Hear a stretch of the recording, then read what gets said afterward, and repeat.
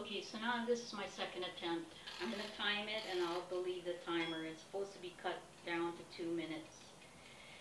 So anyway, um, my name is Zara. I am, uh, I was born in the Philippines and immigrated to Canada. So I'm a dual uh, Philippine-Canadian citizen.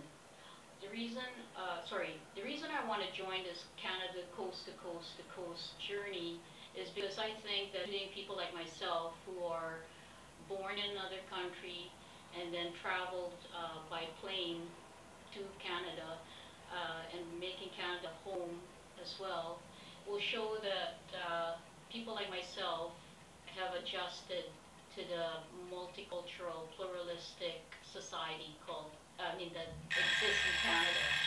So I can't believe this is just, this timer must be wrong.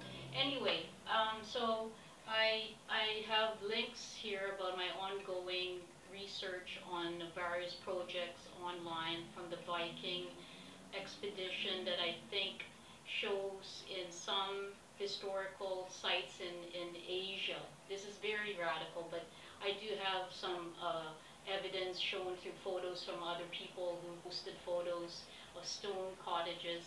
So it's one part of it. Uh, the other work that I'm researching is the Balbo Tribal Project, where globally the ethnic tribes that exist are possibly, you know, they're maybe also going to immigrate into Canada someday, but if not, they exist and they're online. And so that's the reason I'm interested in joining this expedition, because I think I, I have a lot of interest in it, and plus I also came from another country and, and immigrated.